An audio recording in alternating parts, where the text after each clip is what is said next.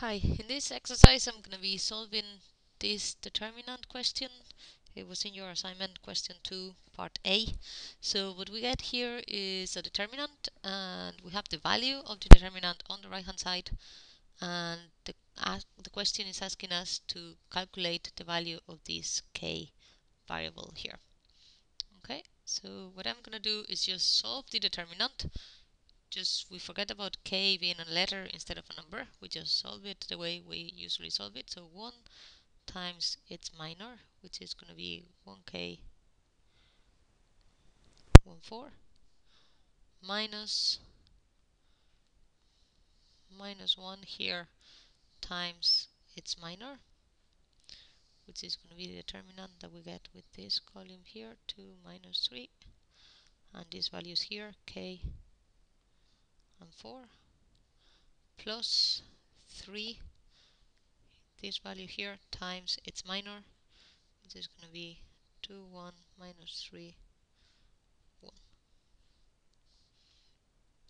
okay if we work this out we're getting 4 minus k times 1 which is 4 minus k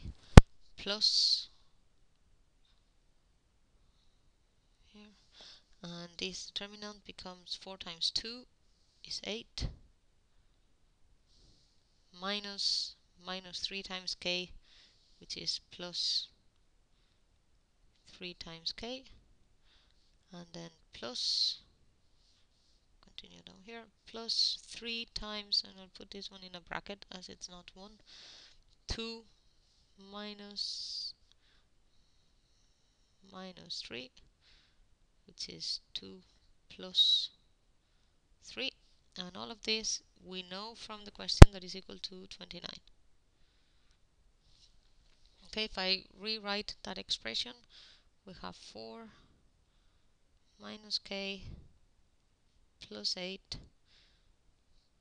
plus 3k plus 6 which is my 3 times 2 and this minus minus becomes a plus so it's plus 9 equals 29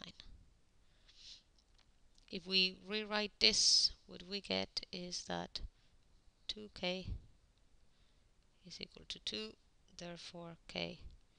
is equal to 1 and this is our solution